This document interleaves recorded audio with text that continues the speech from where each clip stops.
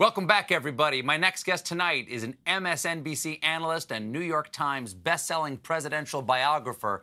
His latest book on the life and times of Jimmy Carter is called His Very Best. Please welcome to a late show, Jonathan Alter. John, good to see you. Hi, Stephen.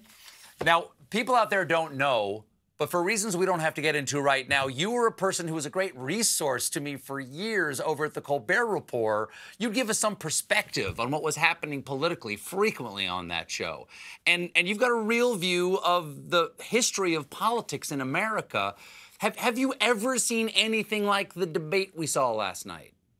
No, it is completely unprecedented.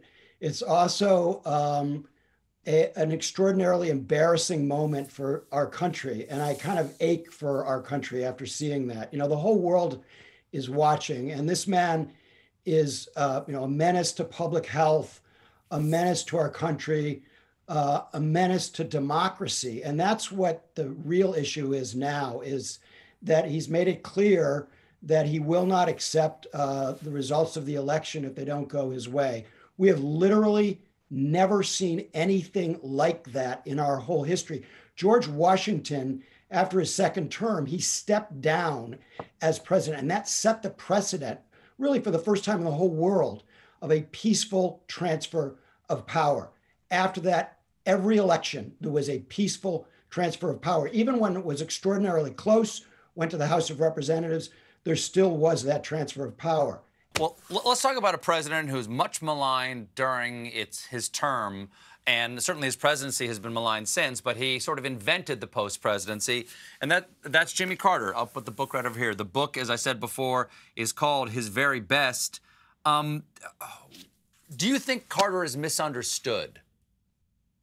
Uh, he's he's completely uh, misunderstood. I mean, it it it starts with you know, this kind of lazy minded assumption, which is very common and understandable, that he was a bad president and a great former president. In fact, he was a, a an underrated, misunderstood president and, uh, a, you know, an inspirational uh, former president, but he hasn't had any levers of power you know to do to make real change. He's helped eradicate diseases. He did some peacemaking He's built houses, as people know. Uh, he's monitored elections overseas. All great work by the Carter Center. He revolutionized what former presidents do, but he did so much more when he was in office. The problem is that he was a a political failure and a stylistic failure at a certain point. But I argue that even though he was a political failure and you know got his butt kicked by Ronald Reagan in 1980 and made a lot of mistakes, he was a substantive and far-sighted, even visionary success. Eight, uh, 14 environmental bills he signed. He signed more legislation than any president except for Lyndon Johnson since World War II. And many of them changed, many of these bills changed the country in fundamental ways. The press just wasn't paying attention to it. You know, I know. I know you sat down uh, with the president uh, many times for this book. He, he cooperated with yeah. his biography. Yeah. What surprised you about the man? I know he's in his 90s now, but what what yeah. did you not expect?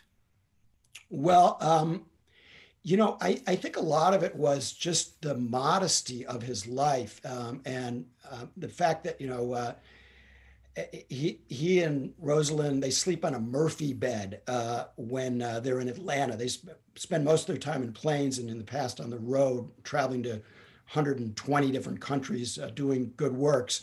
But you know, in Atlanta, they sleep on a Murphy bed at the Carter Center, and and you know he cut the grass for a long time until quite recently at their church, and they're very active in you know local things. They church supper on paper plates and then just things about their lives. Like Mrs. Carter gave me the love letters that he wrote her from the Navy, which are very steamy. Really? And and they are um, they are quite a bit beyond John and Ab- Abigail Adams in their explicitness. Are they in the book? Yeah, they're in the book. And I think and he just moved some paper. Like, we got some sex. We got some sexy peanut farmer in there's here. some, yeah, and just also stuff I found out about him. Like at one point, he went door to door as a missionary, and he came upon a brothel and he tried to convert the madam. But he's not at all uh, intolerant of people who are not a, mm-hmm. as religious as he is. He became really good friends with mm-hmm. Gregg Allman, uh, friendly with Bob Dylan. Uh, Hunter Thompson fell for him hard when he was running for president. And that, you know, Gonzo Hunter Thompson helped make Carter president. So one of the reasons I wanted that Andy Warhol of him on the cover is that there was a time when he was very cool. And, and I think a younger generation is kind of rediscovering him now, um, in part because he is the on Trump. And uh, his 96th birthday is tomorrow. Other than buying this brilliant biography of Jimmy Carter, how can people celebrate it? Well, first of all, thank you for the Colbert bump. You got I it. Remember that. You got um, it. So I think the way to honor him uh, is, you know, he is asking for people not to give right now to the Carter Center, but to give for COVID relief. Uh, there are a lot of countries that, you know, are in real danger uh, and don't have the resources that we have, even though we've suffered worse than any other major country. And, and also, he feels really strongly, uh, and because he's he's monitored all these elections about the integrity of elections, and I think he would urge people to be poll watchers to uh, uh, you know bring friends to vote for Biden, not just yourself. Maybe use the call tools so you can call into battleground states to get out the vote. And I think uh, the the greatest 96th birth, birthday uh, present that anybody could give him would be to work their butts off for Joe Biden and save our democracy. Well, the book is his very best. It's out now. The man is Jonathan Alter, everybody. When we come back, one of my writers heads out into the wilds of COVID parenthood. Stick around.